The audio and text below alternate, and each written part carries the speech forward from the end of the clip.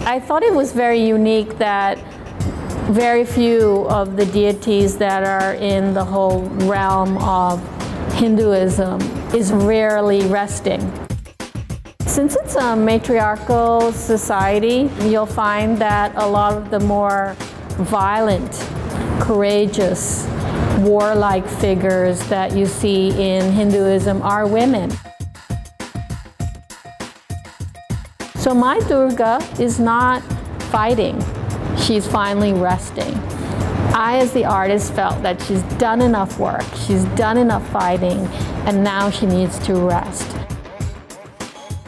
In many ways, I'm trying to cure Durga of her desire for war, to pacify her urge, to make her change, to make this country transform itself. And I specifically picked another piece that has the same kind of object. Sometimes I think about the amber bottle in terms of its ability to be portable. If you want to carry something to another place, often fluids, things that cannot be contained. I think of that as a metaphor for culture. Cultures cannot really stay in one place. They flow, they're very fluid. So those bottles are in many ways a reflection on that.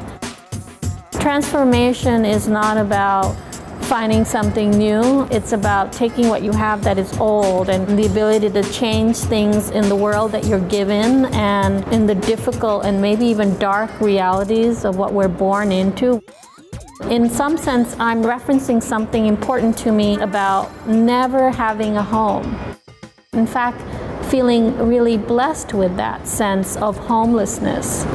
That in essence, everything in the world that I see or touch, the whole world, can be this home.